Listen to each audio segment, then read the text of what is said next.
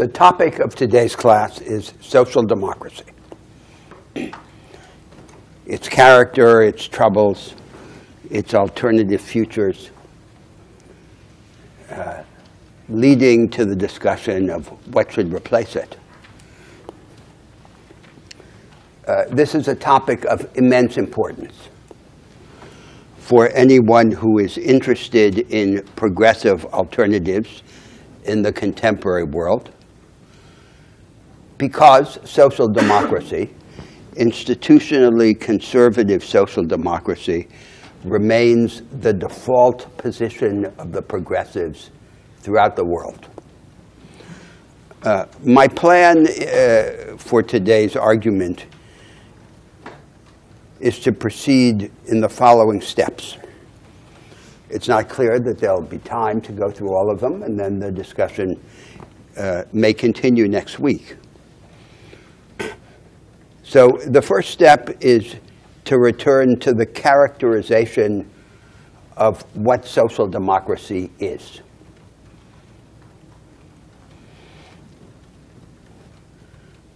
Uh, the second step is to describe in broad terms what has happened to it, its transformation since the middle of the 20th century. The third step is to suggest a general view of the causes of this transformation. And the fourth step is to outline the general character of the argument about the achievements and the failures of social democracy. Both the argument that exists in the world and the argument that does not exist and that should. Uh, the fifth step is to address the most notable recent attempt to revive and renew social democracy what is sometimes called the Nordic model, and to place the discussion of that model in the context of the preceding argument about social democracy. The sixth step is to focus on what social democracy has done or can do and what it has not done and cannot do within the specific area that has been of greatest interest to it, which is the attenuation of inequality through compensatory and retrospective redistribution by tax and transfer.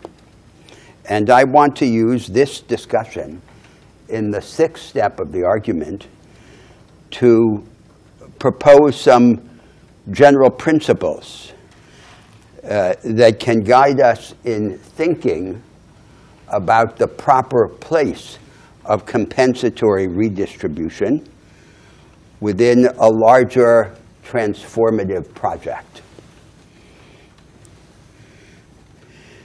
The seventh step is to address the structural problems of contemporary society that lie beyond the range of social democracy, or at least of conventional social democracy, and to explore once again schematically the relation of social democracy to this suppressed or yet unaddressed agenda.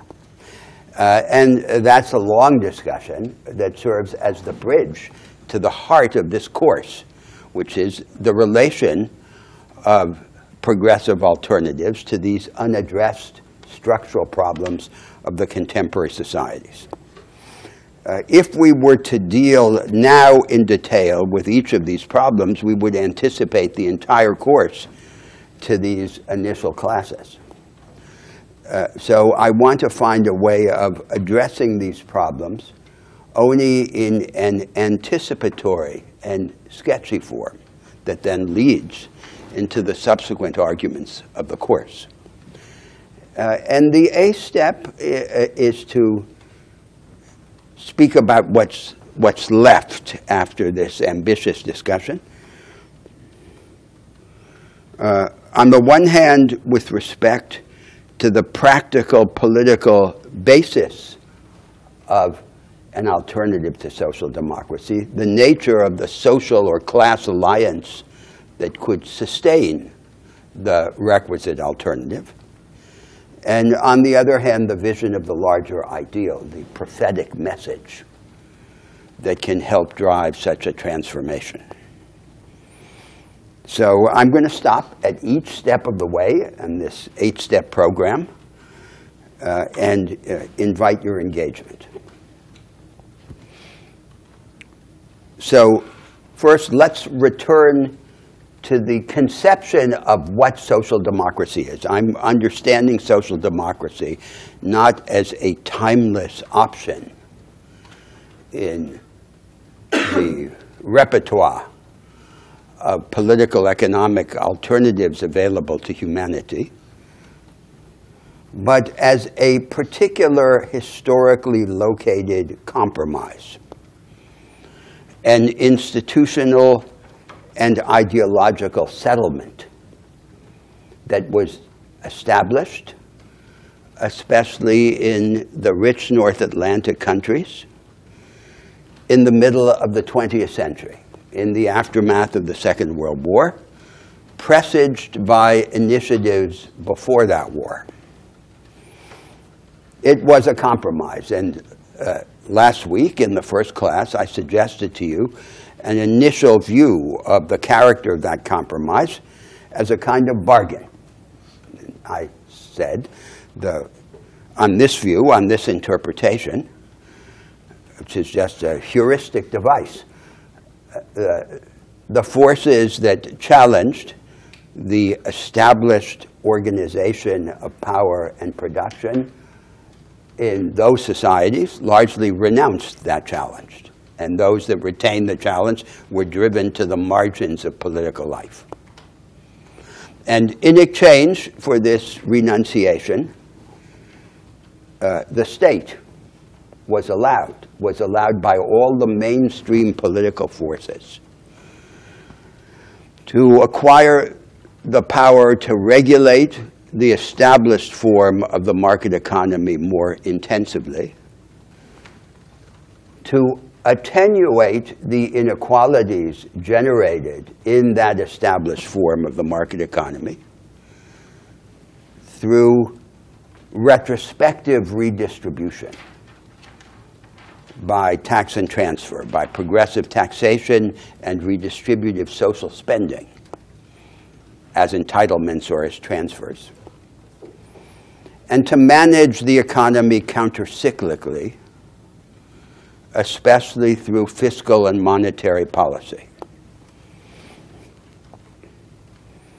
So on that third point, the state was allowed to increase its margin of maneuver in macroeconomic policy, in particular liberating itself from the shackles of the gold standard the gold standard has been interpreted, it was interpreted by the uh, Polish economist Kalecki uh, as a way of making the level of economic activity depend on the level of business confidence. Uh, so the, the, the, breaking of the gold standard uh, dramatically increased the room of maneuver of the state in macroeconomic policy and had a decisive role in shaping the, the form of the so-called business cycle or political business cycle uh, from the middle of the 20th century onward. Now let me complement this view uh, this view of the business cycle of, the, of social democracy as a historically located settlement, an institutional and ideological settlement, with another take at the same subject matter. An unsentimental view of historical social democracy, not by its own lights, but as I think it really has been Uh, on this unsentimental view, historical social democracy has been composed mainly by three sets of institutional and legal arrangements, each of them embodying uh, a set of compromises, in particular, class compromises, compromises among collective interests in society. The first set of arrangements of historical social democracy privileged certain insiders vis-a-vis outsiders. The most notable way in which that happened was with respect to labor in the labor market. Under historical social democracy, workers who had stable jobs in the capital-intensive sectors of the economy, and most notably in industry, in what we call mass production industry, were privileged over all other workers. Workers who uh, worked unstable or precarious jobs in the less capital-intensive sectors of the economy. Uh, these workers were represented by collective organizations, unions, and their collective representation was a major part, a mainstay of the basis of the social democratic parties and movements. So it's important to understand that this defense of the core constituency came at a price, at a variable price. The price was to prefer their interests to the interests of all the outsiders, all the other workers who were less benefited or even harmed by many of the policies and arrangements of historical social democracy. Now, that's not the only form of this defense of insiders and outsiders. It's just the primary form. There were certain other forms that were also part of the panoply of arrangements of historical social democracy. Uh, in the market for corporate control,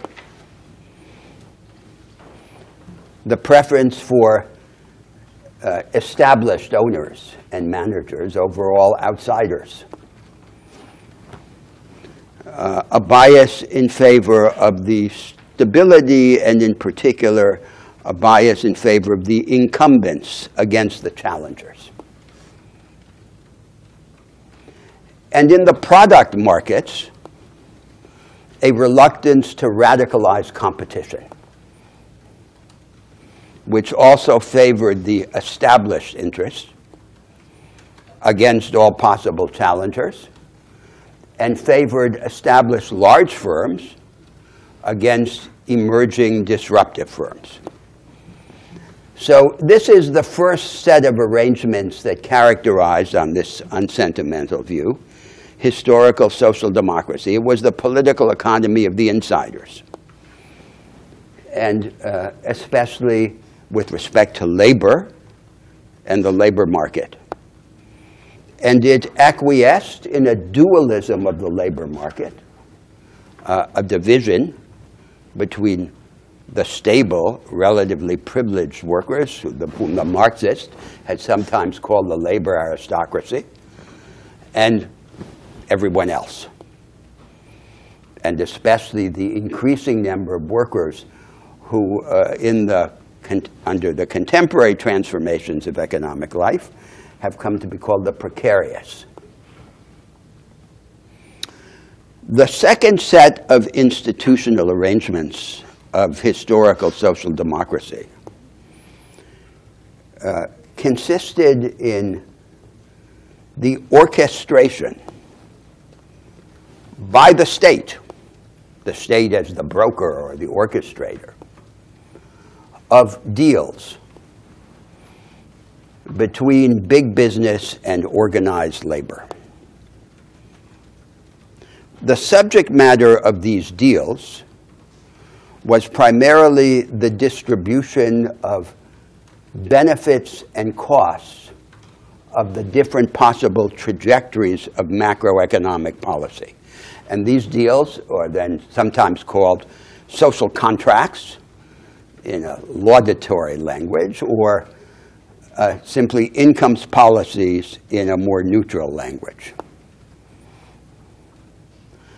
Now, the parties to the deals were these big interests organized labor, representing the minority of the insiders, uh, and big business, by opposed to the uh, emergent disruptors, or small business.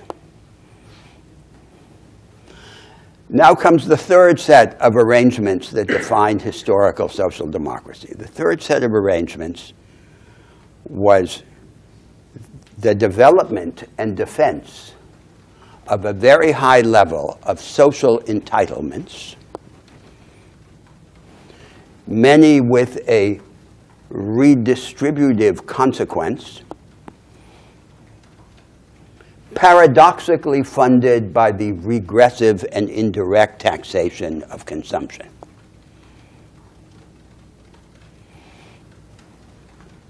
Uh, typically through the comprehensive flat rate value added tax or through some functional equivalent to it. Uh, and we're going to explore later the significance of this apparent paradox that redistributive social investment and spending is financed by a form of taxation that on its face appears to be regressive. Now, uh, before I uh, invite your, your engagement, let me anticipate the second step of the argument, which is very brief. What has happened to social democracy, to this system that I've just described in these two terms, as a historically located settlement and as a set of three arrangements? In a nutshell, what has happened is that social democracy has given up little by little the first step of arrangements that the first two sets of arrangements that I described,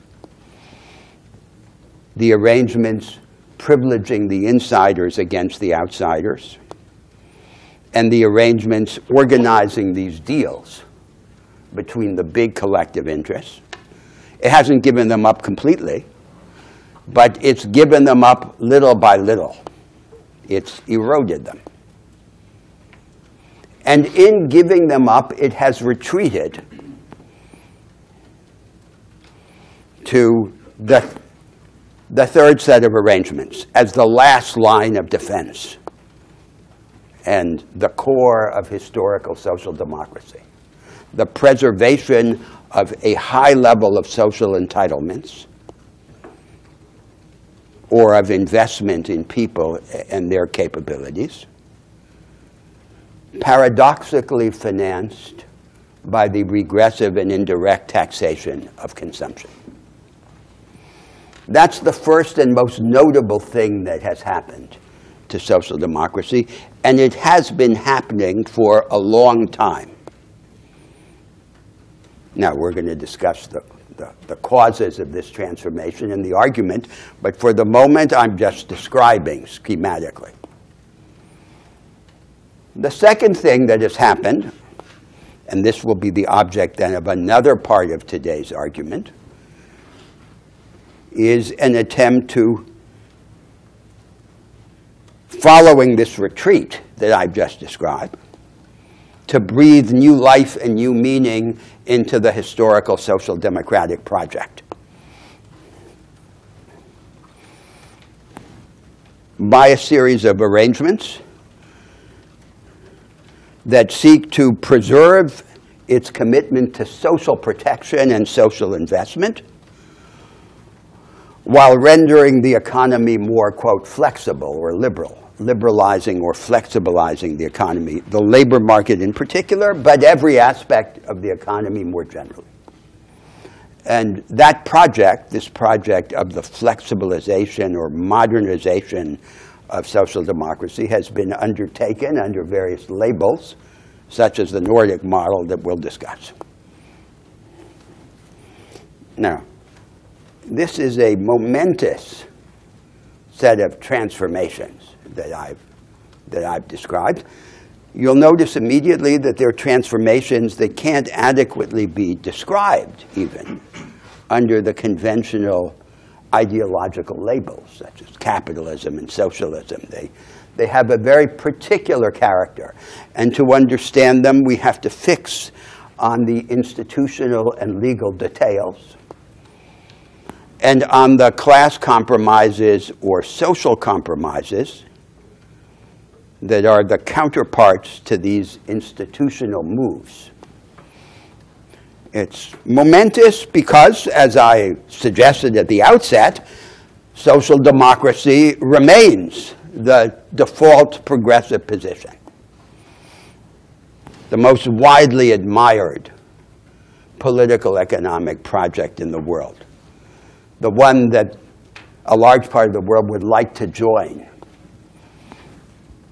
if it could join it without paying too great a price in the disruption of established interests and arrangements, as in the idea that I mentioned last week of the, the tropical Sweden, admired in uh, uh, many of the emerging countries. So a great deal turns on this. The, the, question that's posed is, is this the movement of history? That is, will the, the, the future of progressive alternatives in the world pass through some renovation of historical social democracy? Or is historical social democracy, as I believe, an inadequate instrument in the next historical period for the prosecution of the progressive program? So let me stop there. So that's the first step. It corresponds briefly to the first two steps of that eight-step plan that I laid out in my, in my initial remarks.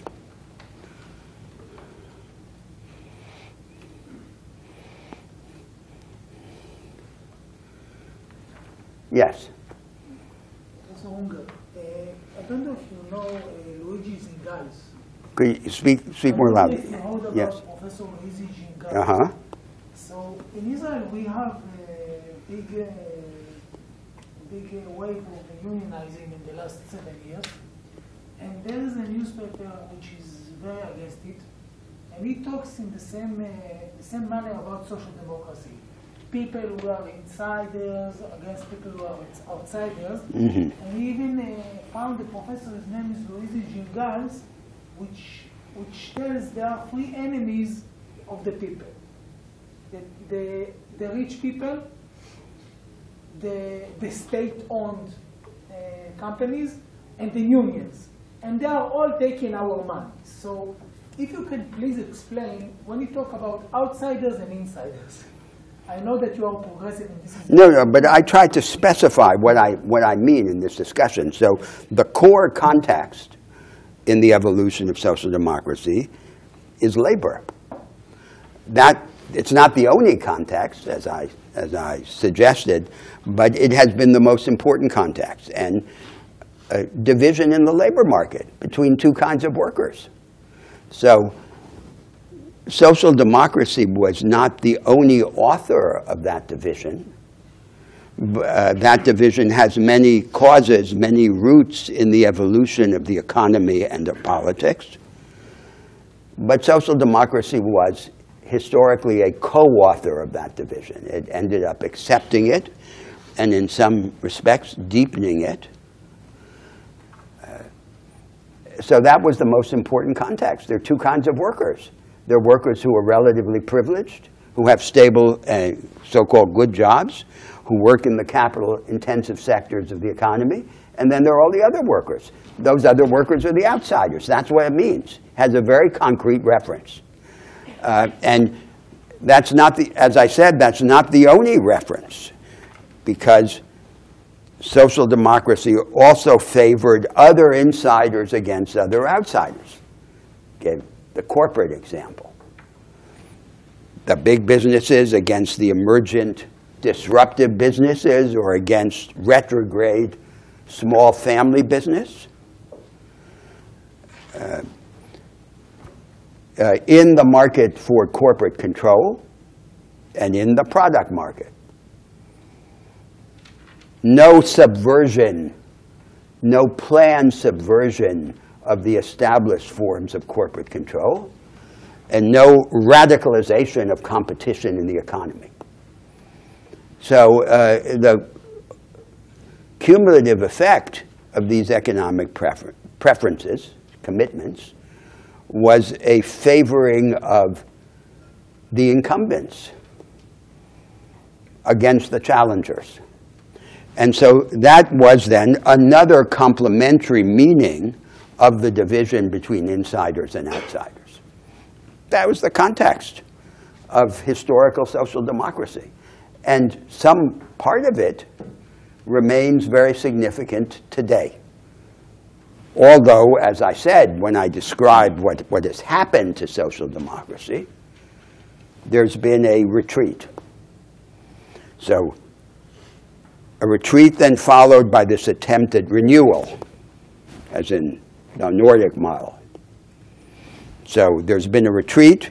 So, one side of the historical process is a flexibilization, a, a an evisceration of social democracy, this falling back to the last line of defense.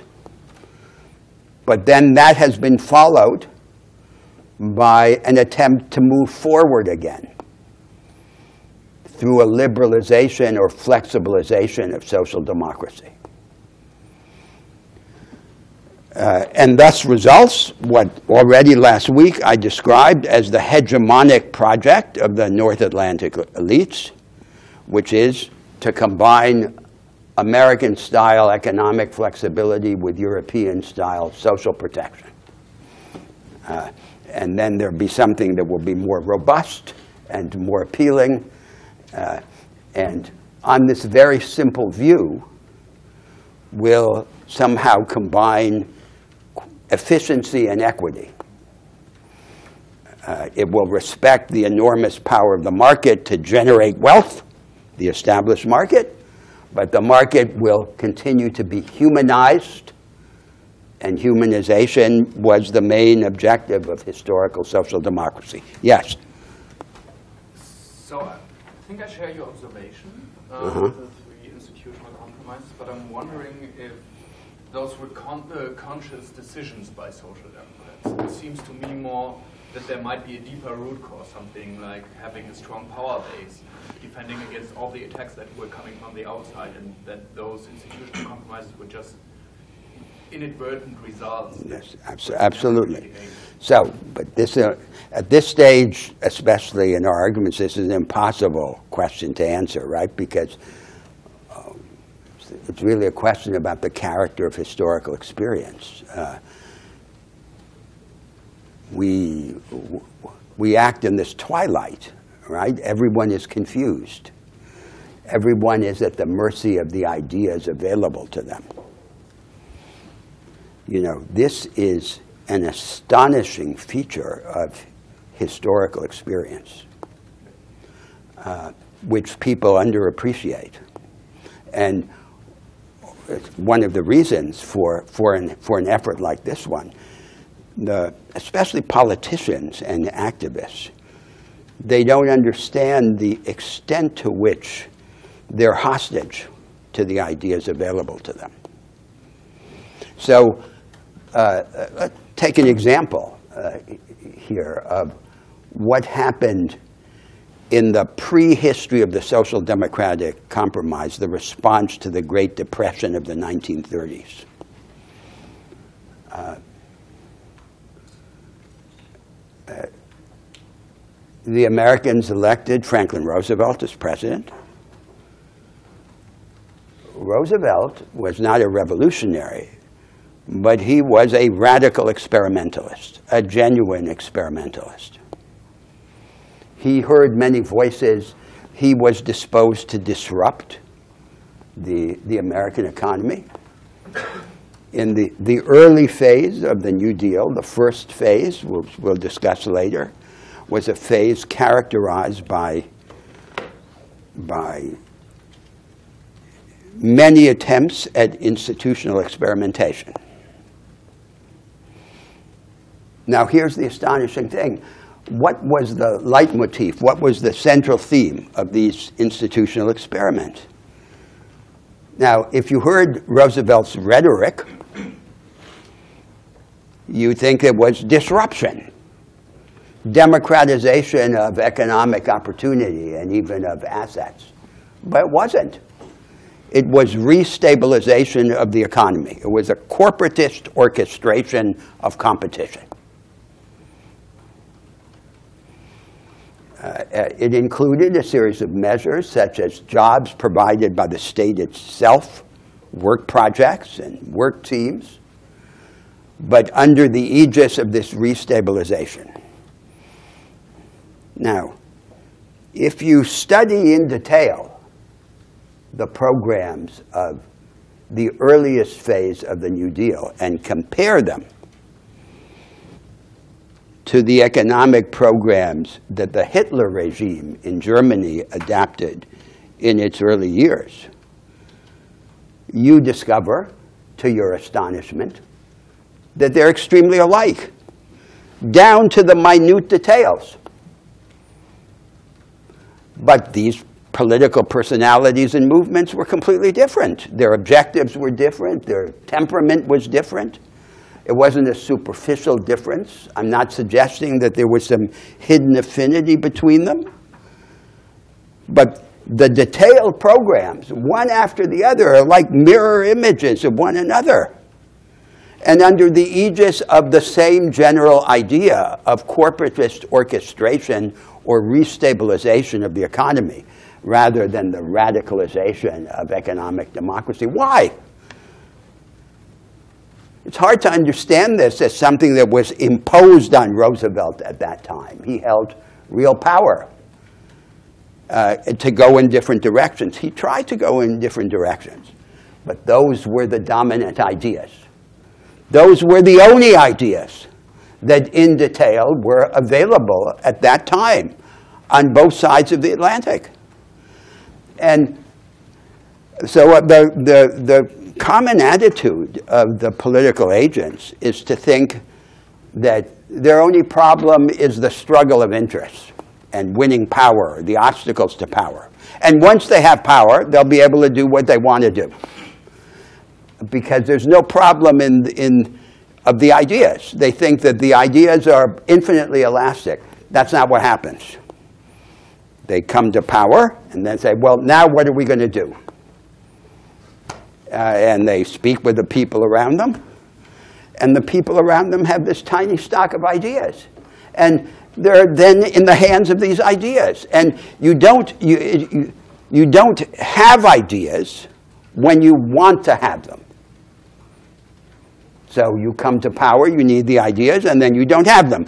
And now that is aggravated in the, in the conduct of the progressives by another feature which is uh, very interesting and generally unremarked, which is that they claim, as an alibi for the failure to develop ideas, that they're not tactically convenient to reveal in full the nature of their plans or intentions. So then they're caught in this characteristic situation of pretending to conceal for tactical reasons a plan that they in fact don't have. No one develops a plan secretly, like, like, a military strategy. How will you invade the other country? That's not, that's not how you develop a political economic program uh, a, a, political and economic plan can only be developed by being debated. And it, it, it can't live in the mind of an isolated individual. It can only live if it's a collective product. So this other feature then aggravates this phenomenon. So this is an indirect answer to your question, to what extent were they conscious? Uh, uh, they're, they're, they, they had a very limited uh, sense of the options available to them. That's the main argument that I'm making, because of the limited stock of ideas. So, and the, so then there's this characteristic form of agency in history, which I suppose you could describe as semi-consciousness, the shadows, uh, in a certain level of, of, of confusion. They th- and typically the political agents, the way they think of themselves is they think they're very practical, not interested in abstractions and ideas. And then, because of this unacknowledged dependence on the established stock of ideas, they sink into this swamp of anti-pragmatic pragmatism, which they're wearing these chains of the available ideas that they, uh, and they then confuse that with practical constraints. Yes. Um, you said that there were no other ideas, but then you mentioned that uh, FDR had wanted to try some other things. Were those other things just sort of other approximations of what was already out there, or were, did any of them have any character? Well, we'll, we'll, we'll, of, uh, we'll? You know, we'll talk about that later because now just to anticipate here, a discussion of what happened in the United States in the 1930s. um, you could distinguish four stages in the evolution of the long New Deal, that is, the New Deal going beyond Roosevelt's own life. So, first, there's the early institutional experimentalism, the first two three years of the New Deal, in which the, the center of the experiments turned out to be these corporatist orchestrations, these restabilizations, as I describe, rather than the deepening of economic democracy that you might expect Roosevelt to have wanted and that he himself said he wanted. Uh, then there was a second stage in which the funnel narrowed to the provision of antidotes to economic insecurity. So the institutional experimentalism remained confined to certain sectors, such as the reorganization of the housing market. But the main theme then became the narrower theme of safeguards against economic insecurity. The signature initiative was the Social Security program. Then comes the third moment, which is a remarkable moment, completely misunderstood, which is the war economy. That was incredible because uh, in the war economy, under the pressure of the national emergency, the Americans, who were supposed to be devoted to this sacrosanct ideology of the market, cast it all aside as if it were just a mask.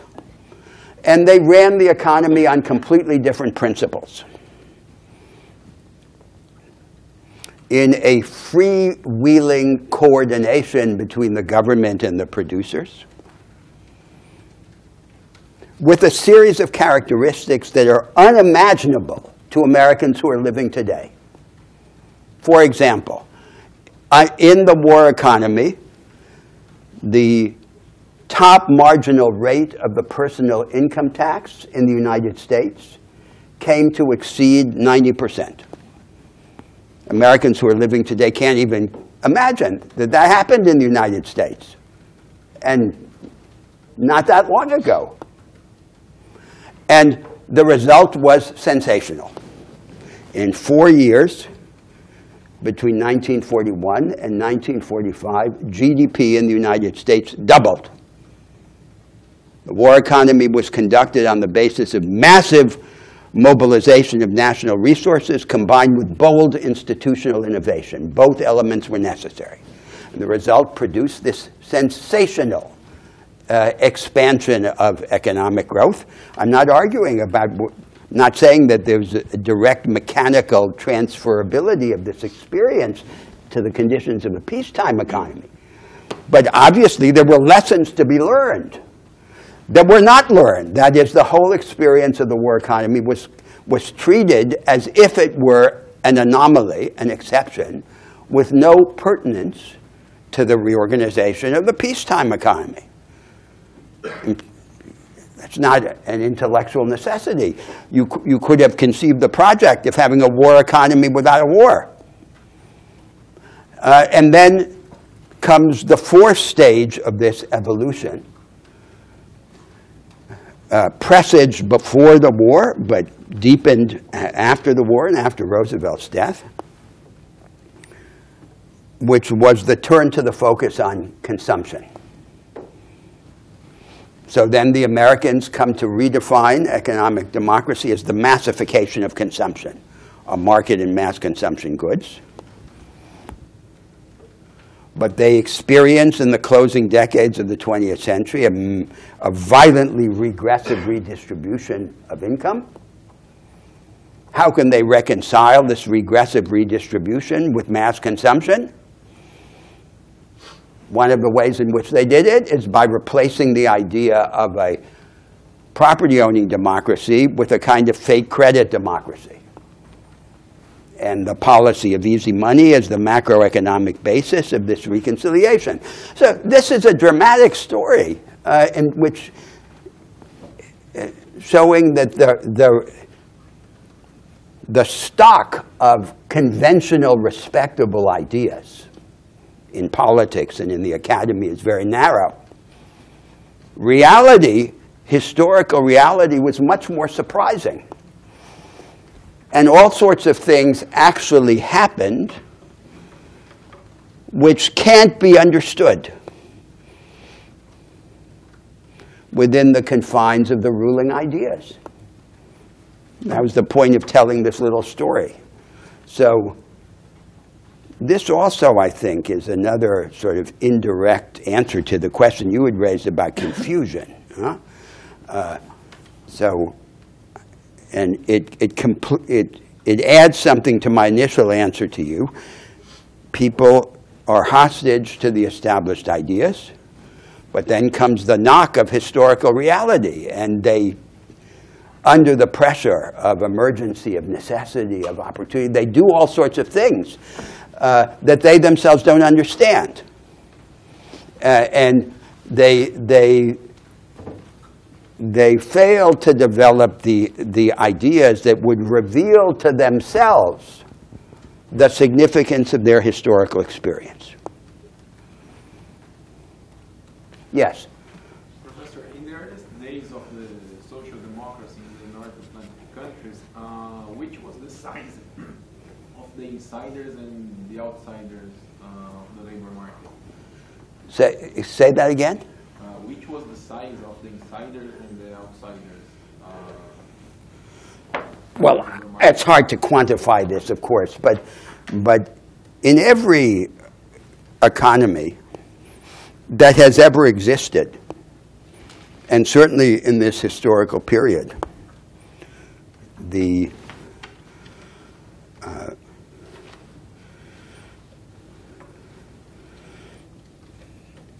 the labor force working in the capital-intensive sectors of the economy was always a minority always a minority. It was never the majority. Uh, and in every economy that has ever existed in the world, uh, most workers work in small firms, and particularly in retrograde family business. That's where most people are. And retrograde family business, which is based largely on self-exploitation and family savings, is uh, outside. And it's associated with the small business class. Historically, social democracy uh, had as its tendency, this came up last week, to regard the small business class as its enemy. And then So if, if, if you define mass production objectively, narrowly, uh, there have always been fewer industrial proletarians than there have been petty bourgeois. And if you define it subjectively, not as a certain level of income or wealth, but as an attitude or horizon, the disparity becomes much greater. Because the ordinary horizon of much of humanity is this aspiration to a modicum of independent prosperity. And then, so then the question arises, what is the instrument for that idea of economic independence?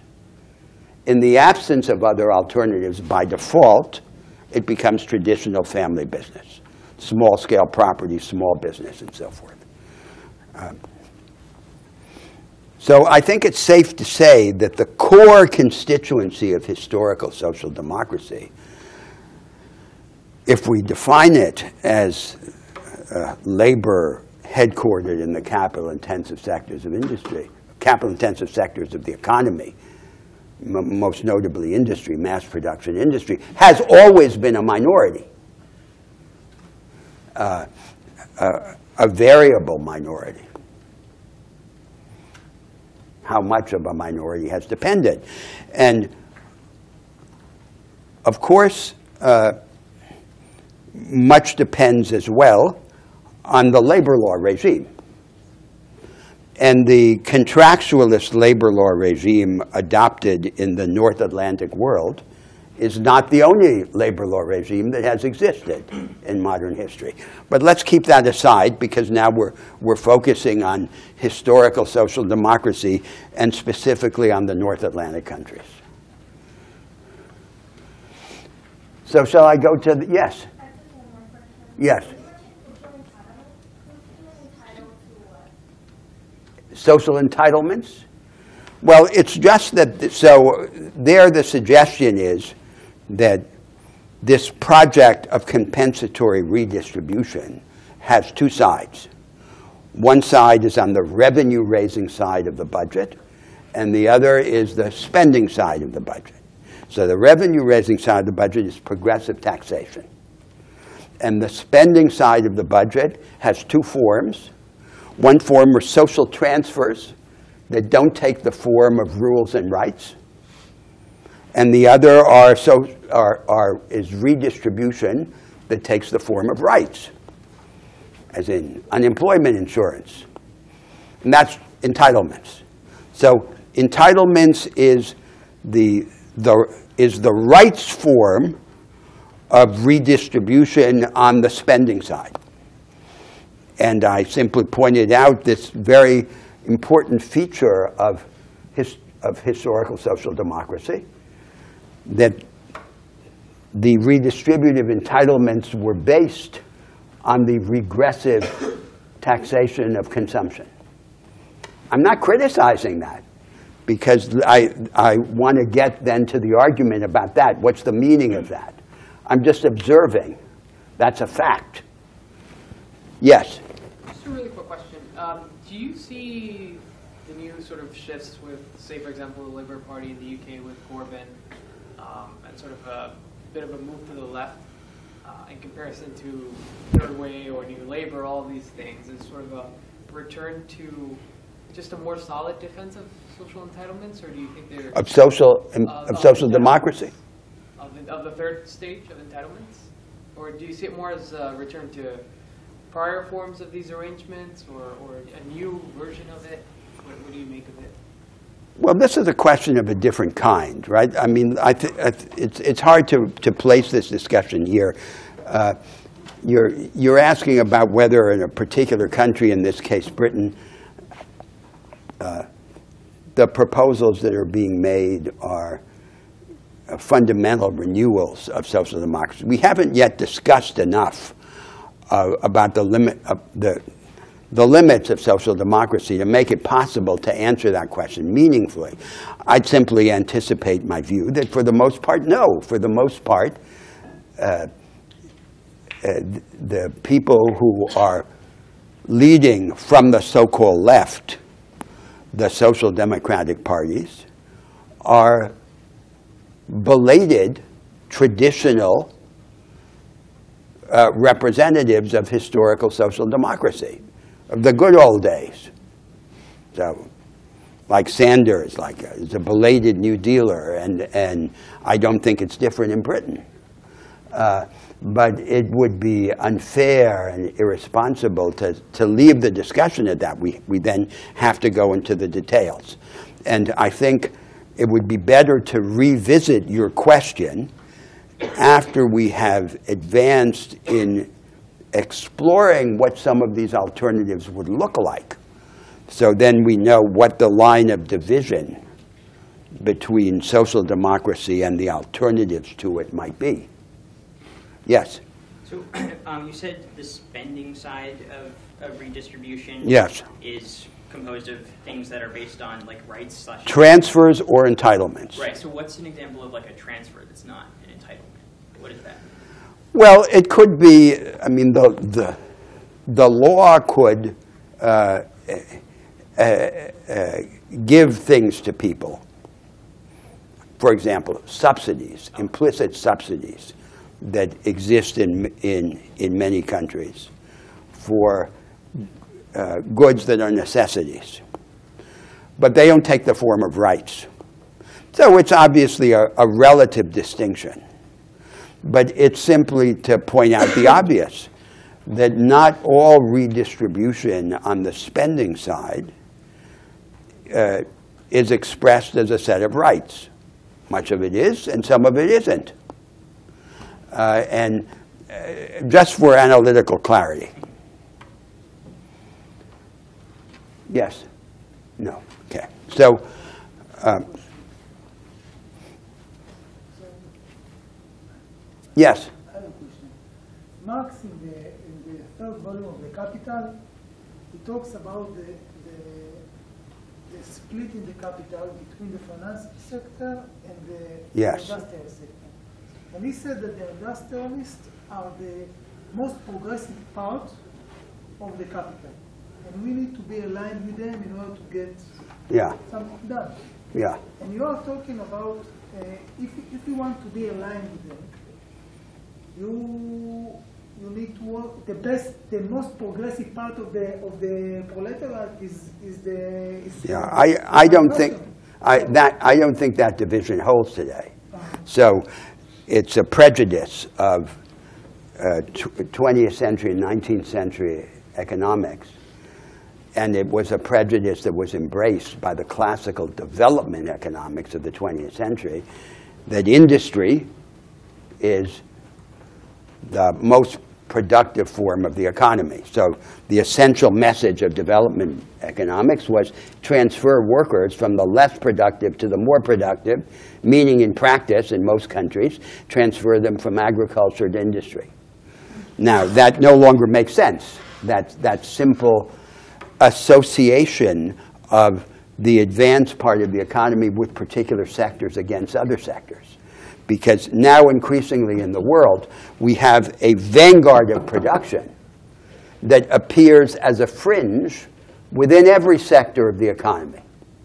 In knowledge-intensive services, uh, and in precision scientific agriculture, as well as in high-tech industry. So it's, it's, it's not a distinction, this distinction between the vanguard and the rearguard, that can be adequately described as a hierarchy of sectors in the way it was in classical Marxist economics or in classical development economics. Um, now we come then to the next step of the argument. um, which is the, the, the simple account of the causes. So, characterize social democracy, and I made a claim about what in general has happened to it. So then the uh, The third step of the argument is the view of the causes. And there are what seem to be two major sets of causes of this retreat or evisceration of historical social democracy. The economic causes uh, and the social cultural causes. So the economic cause of the transformation of social democracy has two faces. One face is domestic, the other face is international. It has to do with the world economy. The domestic face is the transformation of the main practice of production. There is an intimate association between historical social democracy and a particular paradigm of production. Is the paradigm that we call mass production or Fordist mass production, especially manifest in industry. Fordist mass production, Fordist by reference to Henry Ford and his assembly line, his, his automobile factories. Fordist mass production is the large-scale production of standardized goods and services with relatively rigid machines and production processes on the basis of semi-skilled labor and in the context of very hierarchical and very specialized forms of the technical division of labor. That's mass production. And mass production was the base of historical social democracy. Those workers working in the capital-intensive sectors of the economy and particularly in the factories of mass production were the very core of the historical constituency of social democracy. And now there's been a transformation, which has been immensely troubling to social democracy. So, uh, mass production is no longer the vanguard.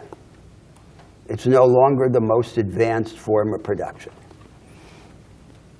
There is a new advanced form of production, which we will have occasion to explore in this course. And all I want to say, it's, it's, it's most tellingly labeled the knowledge economy. And it has a series of characteristics that uh, approximate production to, to, to science uh, and have at least the potential to relax or even reverse the constraint of diminishing returns, which is perhaps the most universal constraint in economic life up to now. Uh, and requires, as part of its moral or social background, an elevation of the level of trust and of discretion in work. So, uh, a simple military analogy would be this mass production is like a traditional infantry formation, command and control. The knowledge economy is more like a guerrilla operation an irregular force requiring great flexibility and permanent innovation, but with the potential for the, for the large-scale force to acquire the attributes of an irregular force. It's as if you were to say the whole army should be like a guerrilla force and not just a, a, a, a small little group within it. Uh, now, this new form of production has not been disseminated to the whole economy. It has remained confined, quarantined within insular vanguards from which the vast majority of the labor force remains excluded. Historical social democracy or its successors, its contemporary representatives, do not know how to deal with that problem. Uh, so it's, it's not industry against the other sectors. It's a fringe in every sector. In every sector, it appears as a fringe. Within industry, within services, within agriculture, it's the vanguard fringe. And this new form of vanguardism is like an archipelago of these islands, excluding the vast majority. And in communication, in communion with one another throughout the world. Now, something remarkable has happened. Uh, in the past, the most advanced form of production is rapidly disseminated throughout the economy. So, mechanized manufacturing, which became mass production, which was studied by Adam Smith at, in its inception and then by Karl Marx when it was more mature, uh, became the model for the whole reconstruction of the economy. Every sector of the economy, including agriculture, was transformed on the model of mass production. Now, this new knowledge economy should, in principle, be susceptible to even more universal dissemination because it has no intrinsic connection with any one sector, industry. But the opposite has happened instead of being disseminated, it's quarantined. Now, so for example, there's a debate in the United States about economic stagnation. And there are these economists who attempt to naturalize the stagnation, claiming that the contemporary technologies have inherently less potential than the technological innovations of 100 years ago. And there seems to be absolutely no ground for that what could be more revolutionary than artificial intelligence? A fundamental cause of stagnation is that this new economy is confined. How could there not be stagnation or a slowdown of productivity if the most productive practice in the economy is denied to the vast majority of workers and firms? That's the beginning of an explanation of stagnation. And as it is an explanation of stagnation, it's also an explanation of inequality. There are these structural divisions between the advanced and backward sectors of the economy, which then become the source, the motor of these vast inequalities and exclusions. And now, instead of the dissemination of this new economy, the opposite has happened. It's not just that it's been confined. The large firms that, for example, in high-tech industry, uh, represent the knowledge economy have discovered a way to routinize or commoditize parts of their business.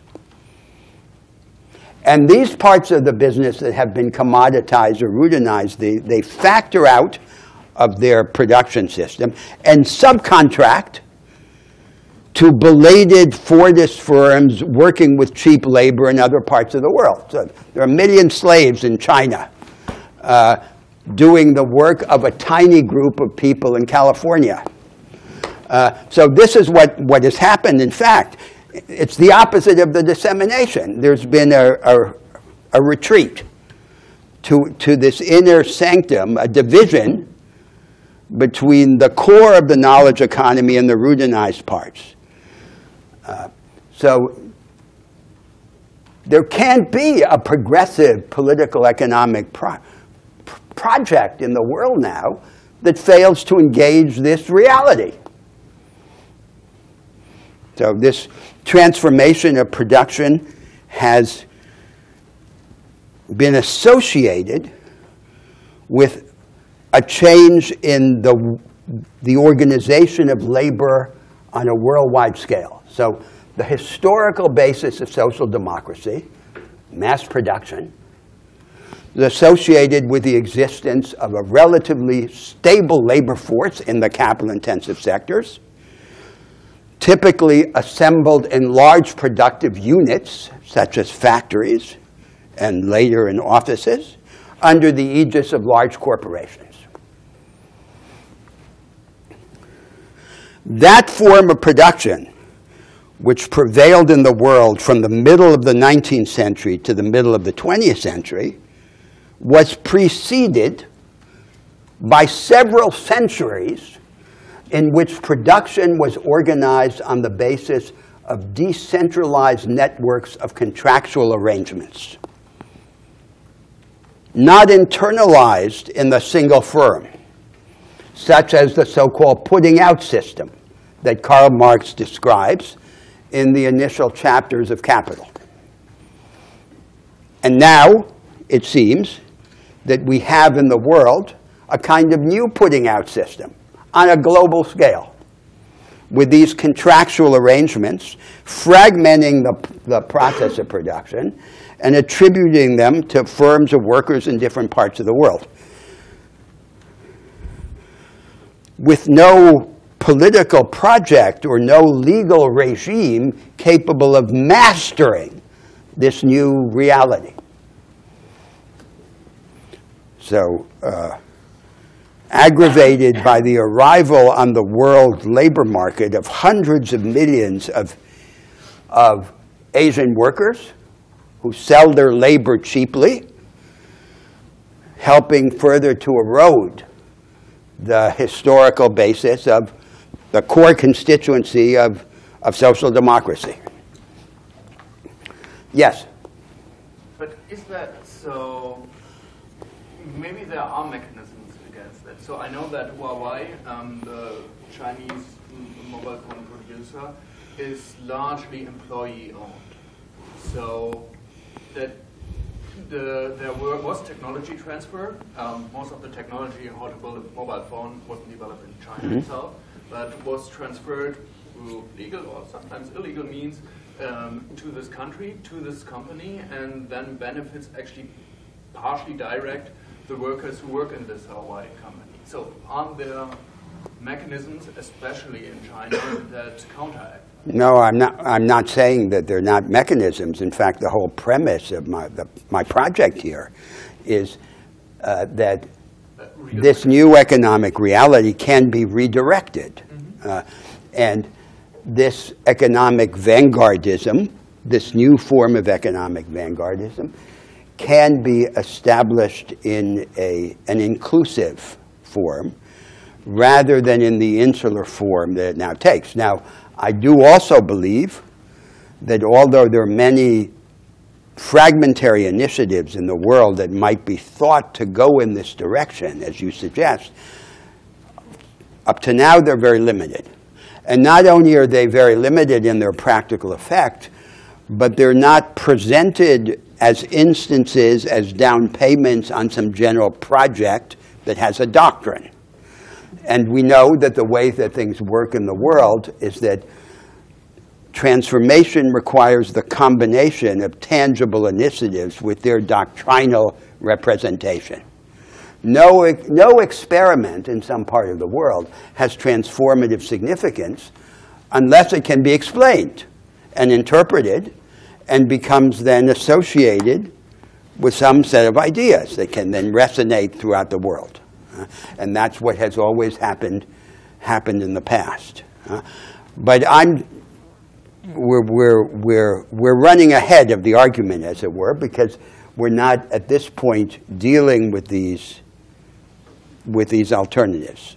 So I'm just characterizing this first cause, uh, this, this combination of economic causes, both, both domestic and global, for the erosion of historical social democracy. Now, there's a second set of causes, which is social and moral, and it is particularly manifest in the European home ground of historical social democracy. So I'm going to describe it in caricature-like form because I, I just want to make the idea patent. huh? Um, so social democracy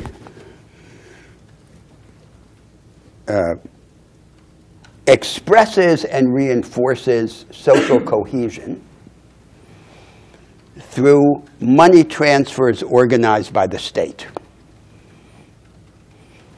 So take a simplified description of a contemporary economy like Sweden. Uh, and you could imagine it in this little fable that I'm going to tell as an economy of three sectors. So one sector are the declining mass production industries. Um, actually, let's say four sectors, because the second sector is what Sweden has, the whole world has, retrograde small business. Regressive in its organizational and technological form. That's, say, the second sector. Then the third sector are the vanguard disruptive firms of the knowledge economy that employ a tiny fraction of the labor force but produce an increasing part of the wealth. And then the fourth sector is the caring economy. That is the economy in which the state pays someone to take care of someone else. So a very large part of the jobs that have been created in Sweden over the last several decades are jobs established and paid for by the state, typically for a woman, a nurse or a social worker, to take care of the very old, the very young, the, the sick, the invalid, and so forth. So the state then collects money from the people with money, as for example, the entrepreneurs in the new knowledge economy, and then directly or indirectly sends these checks to uh, a larger number of people. Now, suppose that operation takes place against the background of a very high degree of social and cultural homogeneity in a nation of people who look like one another and can even, at the limit, think of themselves as one big family. They're a tribe. In that context, the inherent fragility of money as a social cement is concealed. Because the, the practice of the money transfers is taking place against the background of this tribal homogeneity or collective identity. Uh, now suppose that the degree of homogeneity diminishes through, through migration, through social and cultural complication producing heterogeneity. Then the fragility of money is exposed as a sufficient social cement. There's a great deal of empirical study suggesting the consequences of cultural uh, and social heterogeneity for uh, the reluctance to sacrifice. So again, you, willingness to, to sacrifice for other people's children is a proxy for social solidarity. The nation ceases to be a tribe, and then uh, people discover that money is not enough as a basis of social cohesion. So just as a thought experiment, you could ask what would be enough, given that money is not enough? uh, it seems that there is no adequate practical basis for social solidarity that does not involve direct responsibility to take care of other people outside the boundaries of your own family. So, direct engagement with others. There's no substitute for that. Money is not an adequate substitute for that. So, in societies in which there is universal military conscription, for example, military service is a partial substitute or mechanism for that. But in the absence of military service, of common national sacrifice, then some form of social service. So, for example, you might imagine, again, just as a thought experiment, the principle that every able bodied adult should have at least two positions in society. A position in the production system and a, a position in the caring economy, in helping to do things for other people in the society, either part of his life, a period of social service, or part of the working year, or whatever. And money would not be a substitute for that. That's the, that's the only, on this view, the only possible basis of cohesion. Now, I say that just to sharpen the contrast with what social democracy has done. In fact, it has no such project. That's not part of the historical repertory of social democracy. And social democracy then turns out to be infirm in its response to the experience of heterogeneity, of social and cultural heter- heterogeneity. And it's troubled, and that's part of the, the, the background to the rise of, this, of the so-called right-wing populist movements in Europe that have helped shake the ascendancy of, of social democracy. Uh, so this is just a description of, of, of causes, just to help explain that retreat or that evisceration of historical social democracy. Um, comment about this? Yes. So perhaps the best idea would have been to avoid uh, social change, at least uh, uh, when, when it happened, I don't know, four or five decades ago in certain European countries. Let's say Britain or you know, Sweden. Now, to avoid it, what do you mean? Uh, for example, if, if migration was one of the causes that led to the downfall Yes. of social democracy, then perhaps less migration or no migration would have kept the system as it was. Uh, it, I mean, despite of all the negativity that, that Yes. apply, Yes. So, but w- what are you suggesting then? There was a mistake of the, his- of the Social Democrats to have acquiesced in migration? I, I, that, that would be my suggestion, at least from, from that perspective. Uh-huh.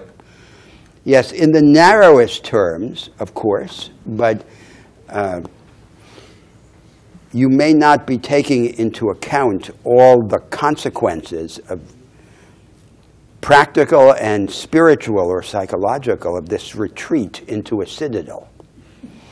Uh, so then the social democrats say, let this moment last forever. They're like, like Faust. huh? And uh, this perfect moment of the mid 20th century. Uh, they couldn't stop there, right? So they'd have to say, let mass production not go away. It was wonderful. Uh, now we have this world of disruption, of precarious workers, of this confusion in the world. And in a sense, they do do that.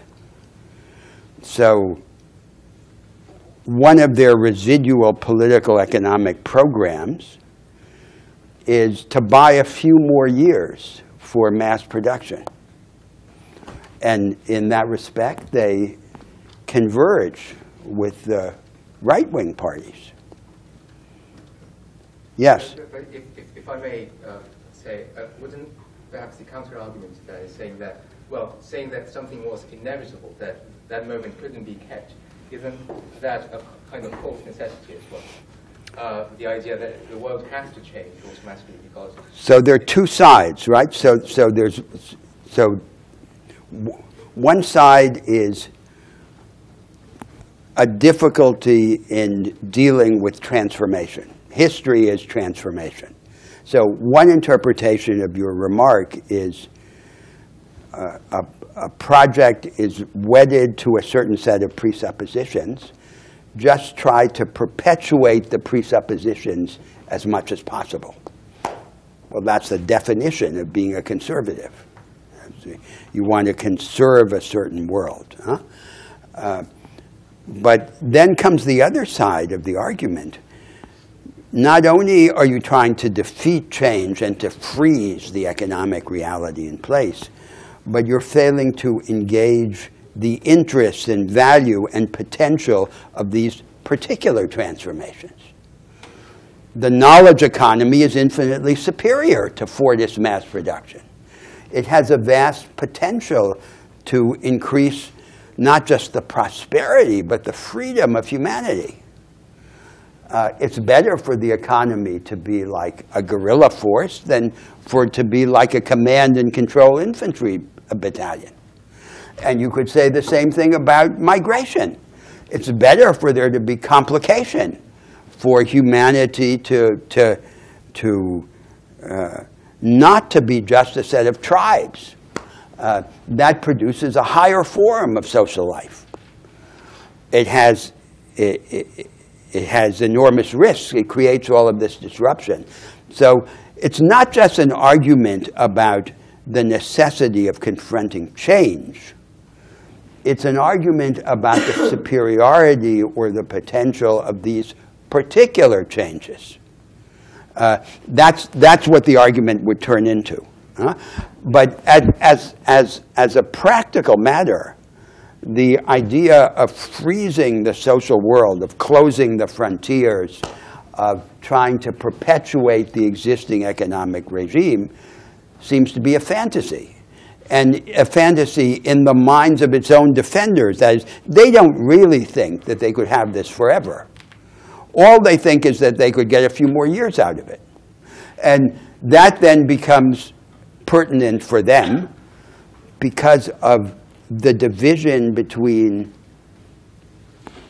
biographical time and historical time. So this is uh, an important recurrent theme in our programmatic discussions.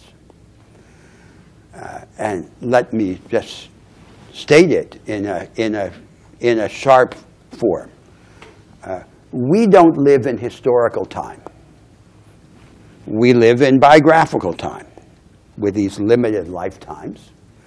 But these projects that we're beginning to discuss about alternatives are not projects that develop in biographical time.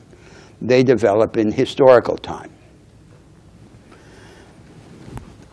So then there's this problem that the economists call a principal agent problem. You, you, you go to the political leader or the labor leader, uh, and you say you have to take this risk of leading a reshaping. huh? Uh, and the leader says, You're asking me to risk my relation with my traditional base before I have another base, and I'll be left with nothing. So it may be that for the society or the economy, this rearguard defense of declining mass production or of tribal unity in the culture has no future. But it has no future in the long term. And I don't live in the long term because I'll be dead by then. Uh, and that's this problem of historical and biographical time. huh? Yes. What do you think is keeping the vanguard closed? Is it a neoliberal project of like wealth accumulation? This insular vanguardism, yes. The insular vanguard. Yes. What's keeping the vanguard closed? And when there are sort of rich entrepreneurs who go on TV or whatever and talk about the need, because I've I work in education, I see them for on, teaching entrepreneurship in schools.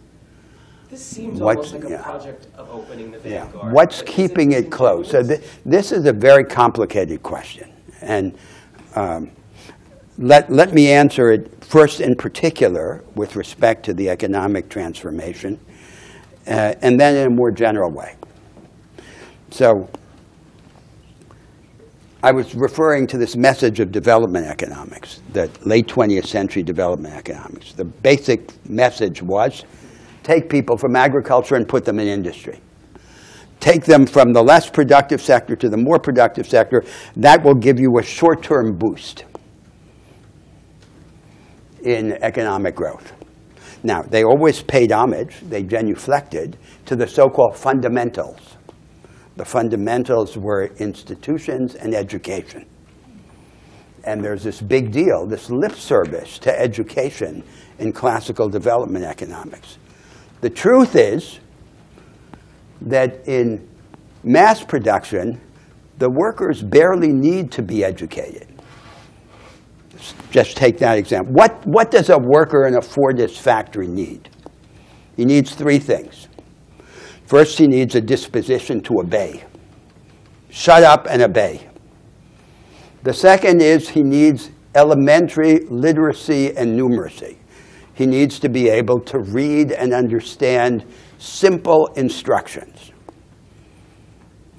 And the third thing that he needs is basic physical dexterity, especially hand-eye coordination.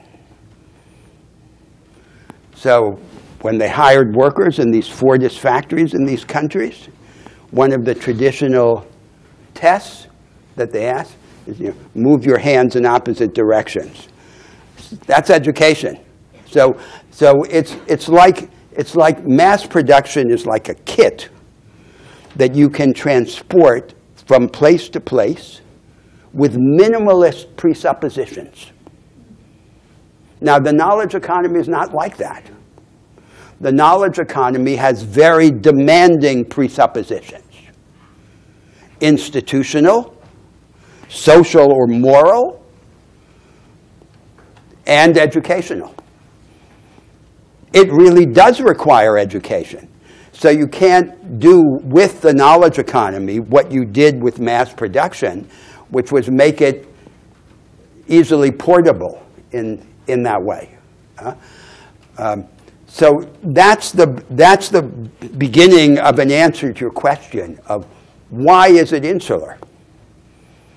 It's insular because there's no organic or vegetative extension of the knowledge economy unless these presuppositions are satisfied, which was not the case with mass production. But I think that your question can and should also be answered at another more general level, which is not related to the specific content.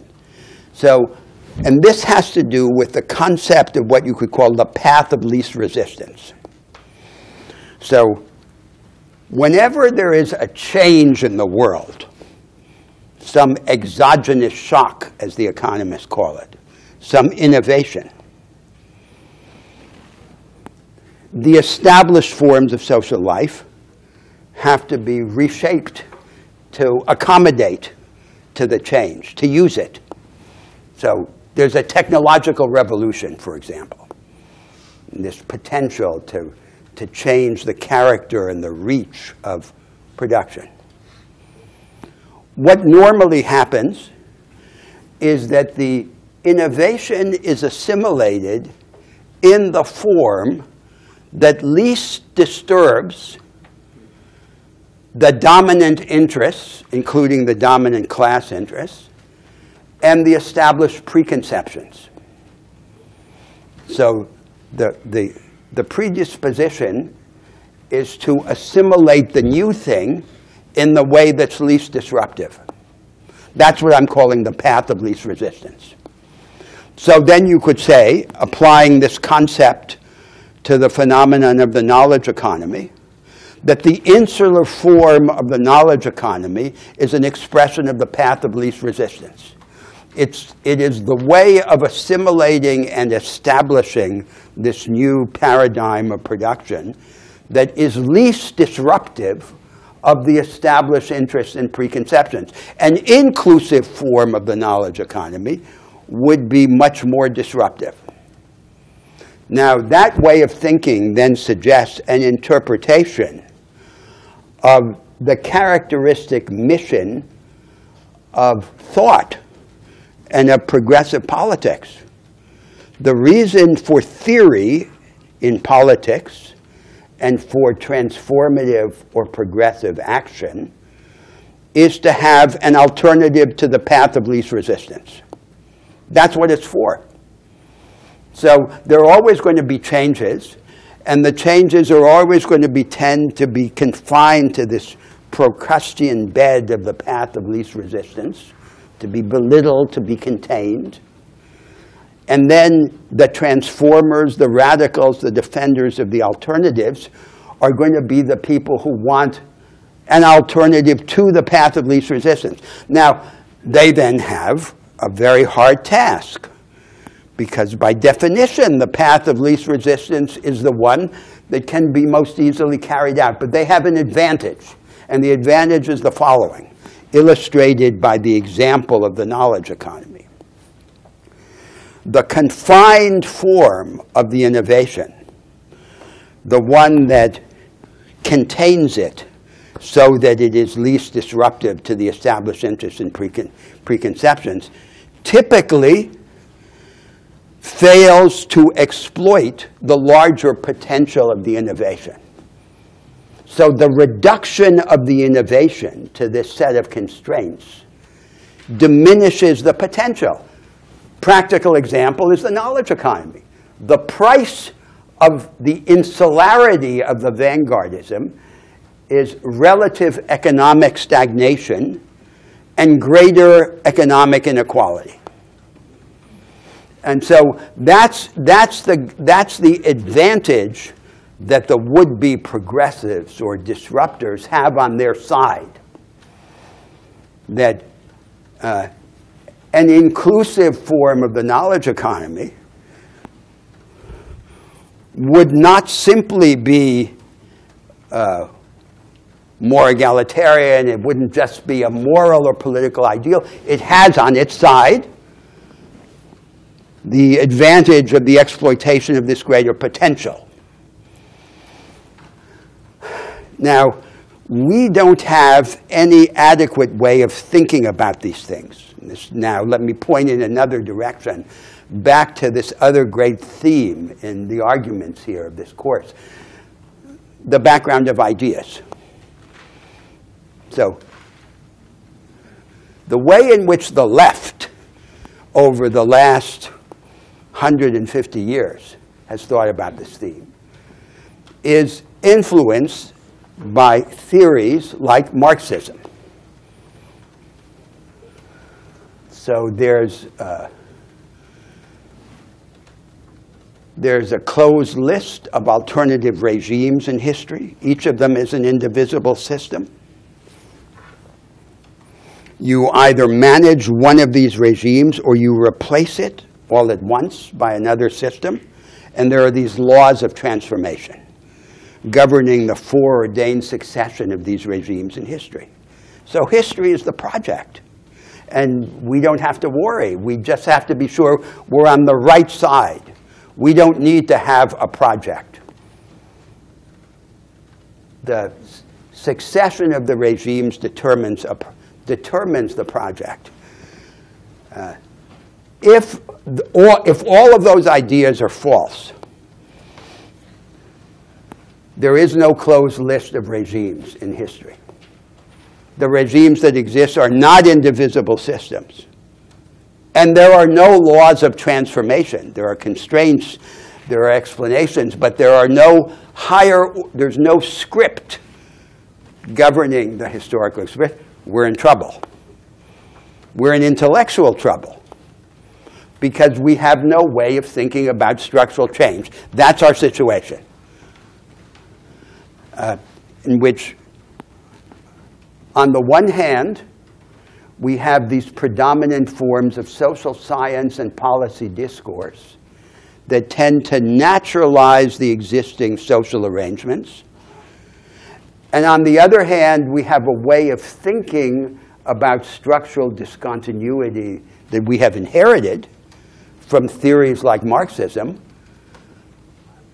in which we can no longer believe. And we should no longer believe. They're false. Uh, they're like a fable. And one of their historical roles, especially in the imagination of the progressives, has been to arouse the heroic will. So I was speaking of the path of least resistance. We, we struggle against the path of least resistance. It seems like overwhelming odds. And then we tell ourselves a story. The story is that history has a plot. And the plot predetermines our eventual triumph. Not necessarily our triumph in biographical time, but our collective triumph in historical time.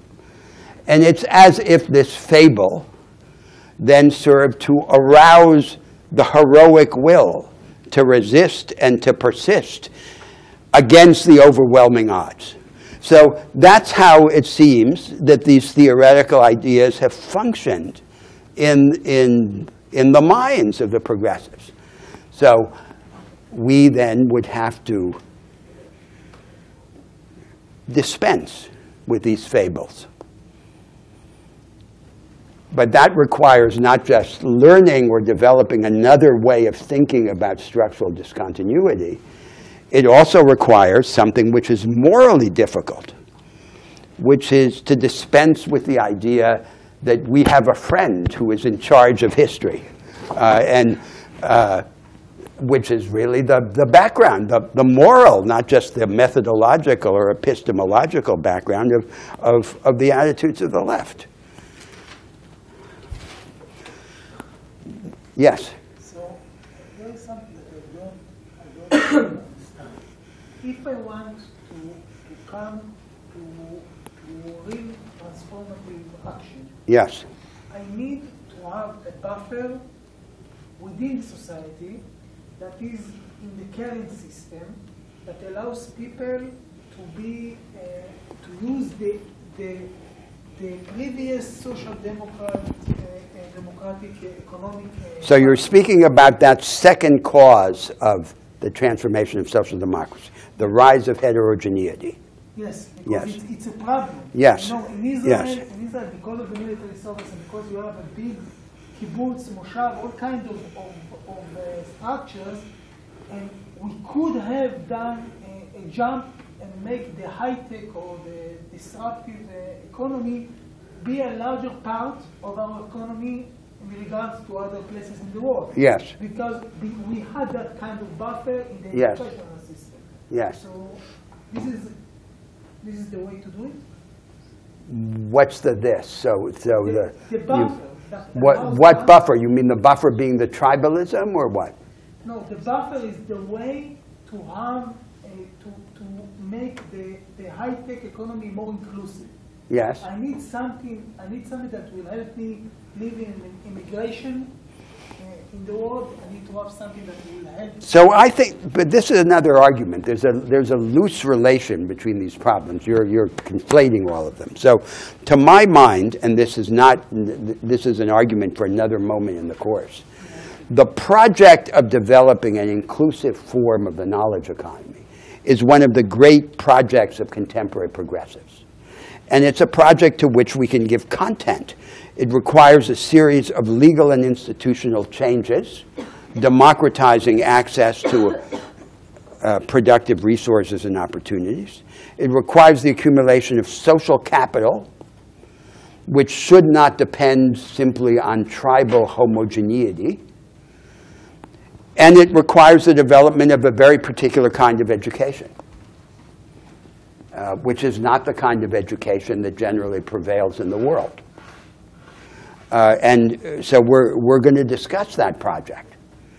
Uh, and so similarly, a proj- uh, there, another project is to develop a basis for social cohesion that is more substantial than money. It's not to say that money transfers aren't useful and even indispensable, but that they're not enough uh,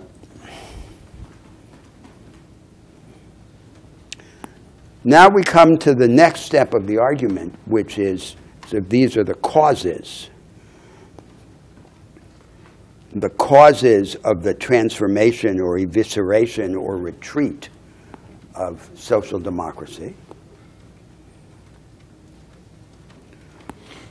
What is the basic shape of the argument? About the achievements and the flaws of historical social democracy? So, first, let me say what I regard as the most significant achievement of historical social democracy. The most significant achievement of historical social democracy is a, a very high level of investment in people and in their capabilities, their physical integrity, uh, their education, a high level of endowments and of instruments. That is the greatest achievement of historical social democracy. Now, the centrality of that achievement is not expressed in the dominant institutional projects in the world. Let me give you an example, a European example. Uh, of the European Union. After all, Europe is the core home ground of social democracy. The European Union has developed according to the following organizing principle. Uh, the power to define the rules and arrangements of social and economic organization is increasingly concentrated in the center of the government of the Union. De jure in Brussels, de facto in Berlin, uh, and the power to define the educational and social endowments of the individual citizens is delegated to the local authorities to the national or subnational authorities. So there's a narrowing funnel of institutional convergence at the top, and then the local governments deal with the details about providing people with the requisite instruments, social and educational. Now, you might think that it should be exactly the opposite, that this organizing principle of the European Union should be turned on its head. So the, the member states at the national and subnational level should be given the greatest latitude for institutional experimentation, including experimentation in the forms of, of economic and social life. And the primary vocation of the union should be to ensure the capabilities and endowments of all of its citizens, universally, so that they can embark on this course of radical innovation and experimentalism.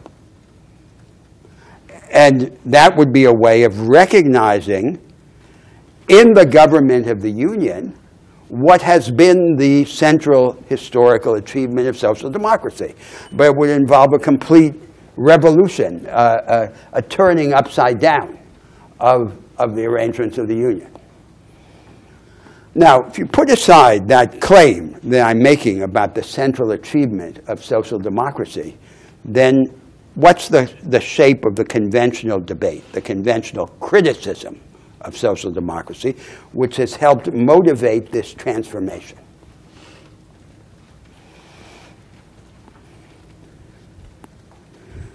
The claim is that there are two main sets of arguments arguments of efficiency and arguments of fairness. So, the first set of claims, the efficiency arguments, uh, uh, take the view that all of these arrangements that privilege insiders over outsiders, primarily in the labor market, but secondarily also in the product markets and in the market for corporate control, impose on the economy costly rigidities. And these rigidities have to be blown open. So that's the first set of arguments. And then the efficiency arguments in the traditional polemic about historical social democracy are married to the fairness arguments. Historical social democracy is a plot of the insiders against the outsiders. And it wants to wear the mantle of social justice, but it's in fact a campaign of the insiders against the outsiders. That's the, those are the two arguments, and they function in that way. And their force helps explain this transformation of historical social democracy that I've just described. Now, that's the existing form of the argument. Now, what is the argument that doesn't exist? Uh, the argument that doesn't exist is the argument that social democracy is inadequate or misguided, both with respect to the goal and with respect to the method or the practice. So the goal in the most generic form has been the humanization of society. So the market shouldn't be a savage market, it should be humanized. It should be given a social character. So the goal is too small. Uh, the historical project of the liberals, of the socialists, of the progressives, of the left is not simply to humanize society, it's to divinize humanity, it's to, it's to raise us up. It's to raise ordinary men and women up to a, a higher form of life, of capability, with a greater scope, with a greater intensity. The essential idea of the progressives on this other view is a shared bigness will become big together. And, and, the, and the, the, the, the campaign against inequality is subsidiary to this larger objective, which is objective of greatness. Greatness is the central idea in politics. And inequality by itself or equality other than as subsidiary to this ideal of greatness only arises when we give up this larger hope and we settle for a smaller hope. Uh, then there's the argument about the method or the practice. So here, the claim against historical social democracy is that not only is its goal too small. This goal simply of humanizing rather than of empowering, of en enhancing the agency of the ordinary man and woman, make, making him bigger uh, with a chance of living a larger life. The method is incapable of producing over time real alternatives to the path of least resistance because the method forswears persistent structural innovation. And that's, as it were, built into the original historical compromise of social democracy. The original historical compromise, the very nature of that institutional and ideological settlement was a retreat from the attempt to reshape institutionally the worlds of power and production uh, in return for the power to regulate, to redistribute, and to manage countercyclically. But everything in social life turns on structural change. So the, the, the supreme object of transformative ambition is always the regime of society. And it's, it's remaking, and for the sake of its remaking, it's reimagination. And change can be structural while being fragmentary, or piecemeal, but nevertheless cumulative. So that's a, that's, a that's a different kind of debate about social democracy, and the one that motivates me here in these interventions. It's different from that fairness and efficiency debate. That's the apparent debate, as opposed to this suppressed debate, which would lead us in the direction of the, of the search for alternatives. Now, you will have noticed that of my eight-point plan, which I laid out, I've only gotten to the fourth step. Uh, so, uh, but that's all right because uh, this this subject of uh, social democracy as the default position is absolutely central, and uh, then we'll devote the next class to the last four steps of the eight-point plan.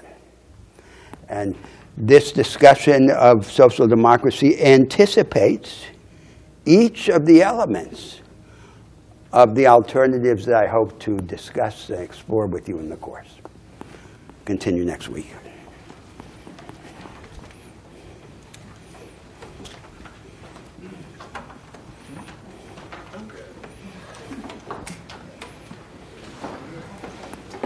So I should say, I should just mention, there's been a problem with the course videos.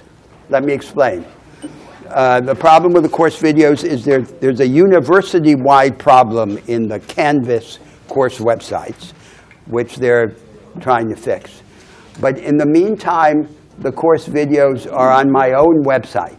So you can go to my own website and have access to the videos.